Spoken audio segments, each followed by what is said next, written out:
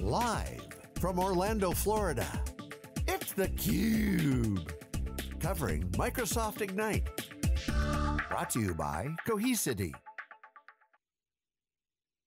Hello CUBE Nation, and welcome to back to theCUBE's live coverage of Microsoft Ignite here in Orlando, Florida. I'm your host, Rebecca Knight, along with my co-host, Stu Miniman. We are closing down the second day of the uh, three days of coverage. This is day two. Wall to wall. Wall to wall coverage. Joining us is Thomas LaRock, best job title ever, head geek at SolarWinds, yeah. author, speaker, data expert, and SQL rockstar. And Thank Microsoft you. MVP. And Microsoft MVP, yes, importantly. And you saved me, you didn't have me on yesterday, you waited to the second day, the end of the second day. That's oh, well, right. Well, Thomas, we wanted to make sure that by the time you came on, that you had got some time to you know, really absorb some of those announcements and be ready to give us a different perspective on some of the items. All right. Precisely, so this is your 10th Microsoft Ignite. Uh, Before it, was it Ignite, is. My uh, go back to TechEd 2010. So yeah, my 10th consecutive so between TechEd and Ignite. Thoughts, impressions of 2019. How is it different? How is the show evolving? What is the show all about so, from your perspective? Uh, you know, I, I do a lot of events and shows, and what my impression right now, just over these two days, is that this is one of the only shows this year I've been to where I feel the, uh, from year over year, the expo hall is, say, bigger. I mean, I know it's the same size last year, but I think there's actually more vendors here this year. There are. And there's more people here this year in the expo hall. Our traffic at the booth yesterday was amazing and continued through today. Uh, other events I've been to, I feel it's kind of shrinking a little bit. So to me, the partners and the ecosystem for Microsoft in general is, or I should just say Azure because that's what I think this show really is now. I think the old TechEd you had mentioned was more like a Windows type uh, show, but now this is, these shows, between AWS and this, you're talking about the two biggest providers of infrastructure. This is an Azure show. Yeah, well, and, and, Thomas, if you come, uh, follow us along. I'll be at KubeCon in two weeks, and I'll be at AWS reInvent yep. uh, right after Thanksgiving. Both of those shows are growing. The ecosystem are growing there too. So the cloud is definitely one of those. The rising tide uh, is moving all boats. Um, I, I want to poke. You say Azure. Azure is definitely one of the main pieces, but you know the applications, the data are so important here. Last year, AI front and center. Um, it was it was more, you know, they didn't use the term AI um, as, as, much here. You know, Satya I was talking about, you know, tech intensity and all of the things we can do uh, with data. So this while cloud is a major piece, I wouldn't call this just a cloud show because I think that would limit what we're actually talking about here, because there's okay. so many of the apps and so many of the things, when I talk to some of the ecosystem providers, you know, they're looking for that solution that fits it, and therefore they're going to the ecosystem and, and talking about all of those pieces. So for an infrastructure guy like me, cloud's a big piece of it, but um, it's way more than that, and that's one of the challenges, is there's, it, you know, it, everything from, you know, the latest Azure Arc all the way through Bing, Edge, and mobile devices, and, uh, you know, heck, there's even, you know, in, in the store, they've got people playing Xbox. Uh, so it's there's a lot in your Microsoft community here. So absolutely, so I, I, didn't say cloud though, I said it's an Azure show. Yeah. And an Azure show is, to me, is almost synonymous with Microsoft. Now all that stuff you see uh, over there, that entire hall, you're right, they have all those other things. They have all the power apps, they have those applications, they have everything for developers that you need, but still, to me, uh, so what was that stat you just gave me? I, we were debating, it's roughly eight, upwards of 80% of workloads are still earthed on premises, right? It's still there. So with Azure Arc, now they have the ability to take an Azure service and put it in your data center wherever you want it. So when I say it's an Azure show, it's not even that it's just cloud. The cloud is coming to you, and we see it with VMware, we see it with AWS and Outpost. It, they have decided that 80% is a huge market and they're coming for it. All right, so, so Thomas, uh, if you'd asked me two years ago, uh, which of the hyperscale providers is best as hybrid, my answer would have been Microsoft, because okay. they're in both places. The hybrid discussion at this show is way different. Uh, there was a lot of retooling, we talked about what was going on. Azure Stack has been there, but Arc kind of is, is a new big push, and everybody is trying to look at that and say, wait, is this a management tool? Is this just the latest Kubernetes flavor?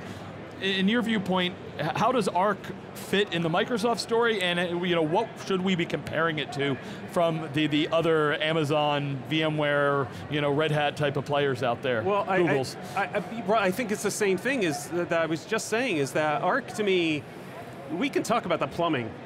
So yeah, they put a fancy name on what is Kubernetes, Kubernetes, or and all that stuff. But no, Arc to me is a way for Microsoft to get their hands on as many data estates as possible, right? I know data estate, right? I have a data estate and it's next to my data lake and I work at the data factory and everything's stored in the data warehouse and I shop at the data mart. Uh, we can go on forever with this stuff, but that is the reality of the world. And the thing is, all those things exist and they're, what Azure Arc is, it's the ability to extend into there because what is Azure and AWS, they're nothing more than an electric company. They're a utility. And the utility you're going to offer similar services, and that's what they have, and of course VMware is in the mix as well. And it's just the ability for all those companies to have their hands on your data, wherever it is. Whether it's in your data center or with them, they don't care. They just want the ability to have a piece of that data as it's in transit or at rest. And so what's the end there? I mean, you're making that sound like there's some sort of nefarious uh, end game here, Thomas. Uh, I, mean, I wouldn't say it's nefarious, I would just say it's market share. What's the end is to survive, to have the market share, Yeah. to continue to build new cool things, right? Um, I, I think the end is some consolidation. I don't think the end is, I, I don't know, let's say there's five major players. I don't think those five will always exist. I think you're going to see it shrink at, over time, but that depends on how well they partner with each other too.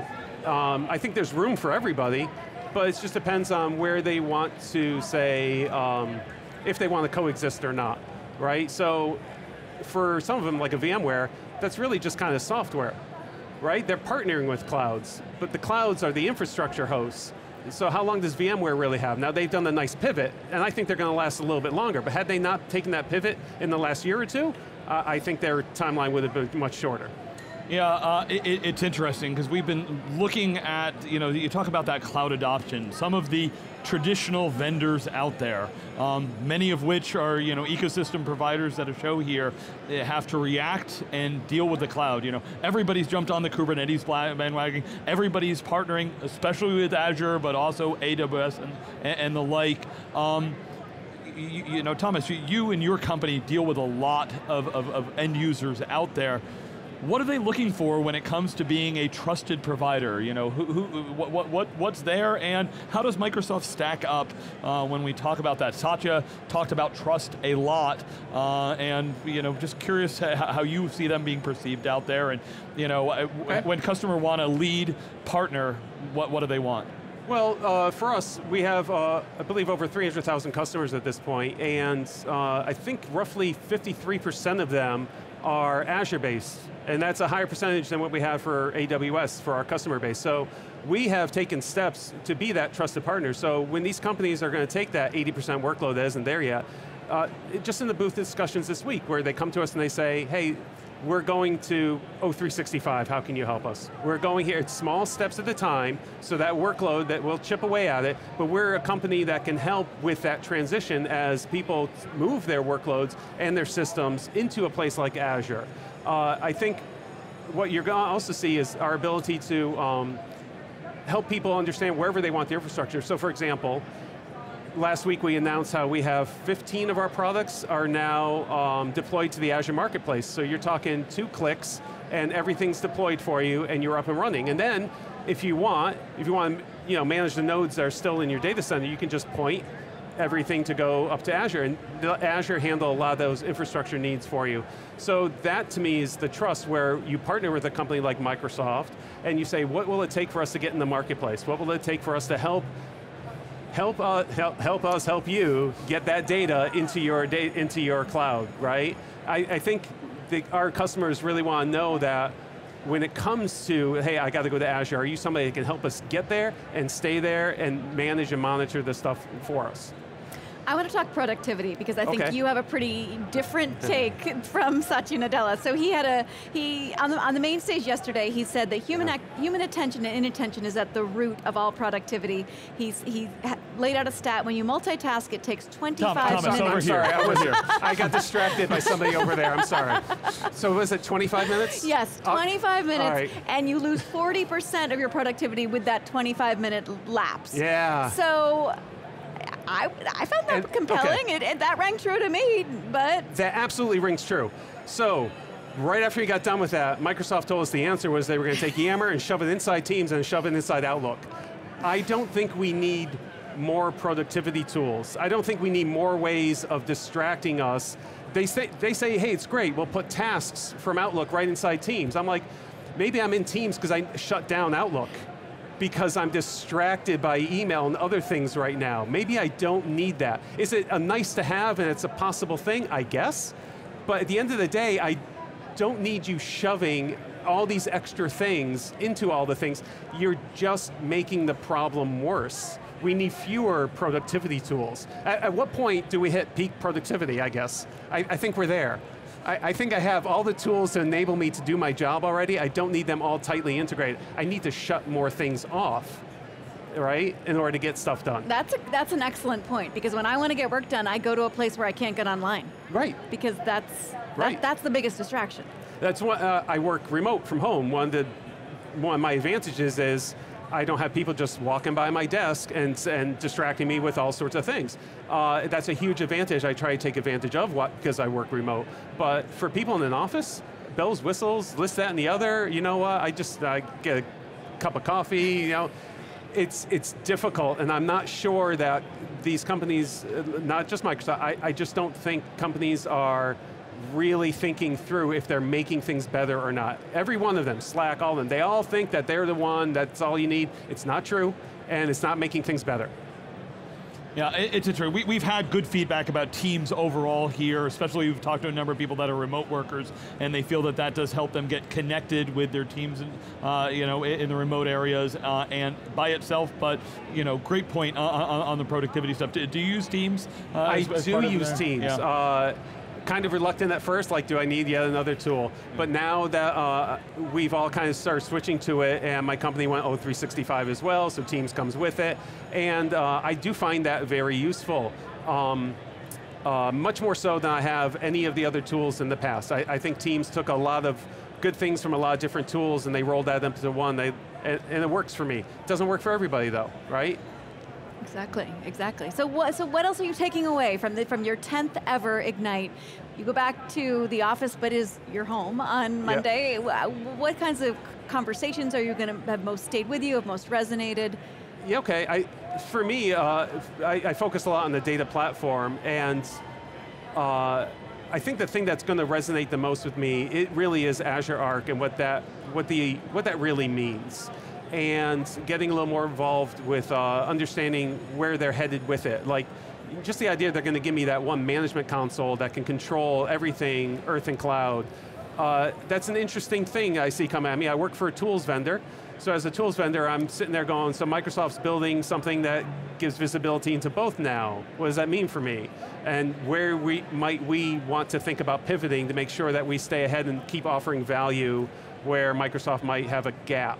Um, so I think those are the things I'll probably be thinking about. My role as head geek is to you know, help our users and our, the people who write the code, you know, connect, share, and learn, figure out where things are going, and that also involves partnering and having conversations with folks at Microsoft uh, to help uh, our company, you know, continue to have that edge. So I think that's what I'll be thinking about on Monday. Probably now on the plane ride home on Friday, but who knows? Excellent. Right. Uh, Thomas, any other final words about the community here? Uh, you know, you- you're a Microsoft MVP as we set up in front. Uh, you know, Microsoft should get great kudos for, they put the unity in community and they talk about diversity and inclusion, something they highlight, something that, at least from the viewpoint we've had, uh, that they, they seem to be doing a good job in moving the needle here. But, uh, you know, as an insider uh, to the Microsoft community, uh, anything particular that you'd call out?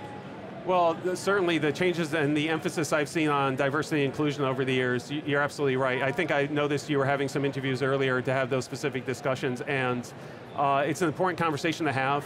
Uh, you, you know, uh, as somebody who organizes events, it becomes, you know, what's the diversity? How, how diverse should an event be? At what point are we diverse enough? and what does that really mean? Uh, and so I look at it and I say, if I'm going to run an event that caters to, say, an IT community, well, what's the makeup of that IT community? Then the, the speakers should represent the community that they're trying to speak to. So what I've seen over these 11 years is a lot more focus for events, especially like ones I help organize, where it's like, you know what?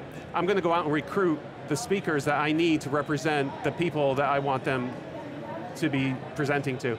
Uh, I don't think, I, don't recall that. I'm, I'm, old, I don't recall a lot of things. But you know, 11 years ago when I, was, when I joined and became an MVP, I, I, I don't think that the diversity was there and I don't think the efforts were being done. I think those efforts have come just in the past few years, four or five years, maybe society as a whole, but specifically inside of Microsoft and, and their programs, and I think it's fabulous. Uh, I, I think you could never be diverse enough, I guess. I don't know how to say that. I think you can always do more to uh, include, I always say inclusion is better than exclusion any day.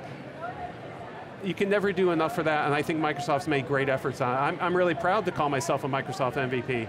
Uh, I, I think it's a great program. I'm glad I question, you know, their selection method, maybe, because they keep inviting me back, but they do and, but I love it. I, it's been a great ride. A great note to end on. Thomas LaRock, head geek. Great, great to have you on the show. Great, it's great. Thanks for having me back. I really appreciate it. I'm Rebecca Knight for Stu Miniman. Come back tomorrow for more of theCUBE's live coverage of Microsoft Ignite.